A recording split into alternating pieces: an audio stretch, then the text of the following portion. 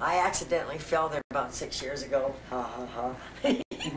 and I had a cutter that you put on your fingers here, and it, you can cut roses and stuff with it. And I just went like that and got a little round piece of grass from Graceland. and now my, I only have a spot maybe twice the size of this bit because I've got cool decking all over my yard and a pool in the back. But the grass that's there is from Graceland. It's still growing. And I carried it on the plane and I fed it and watered it. And, and then stewardesses got, s- what? And they got a kick out of that. But it grew like crazy. That's wonderful. Yes.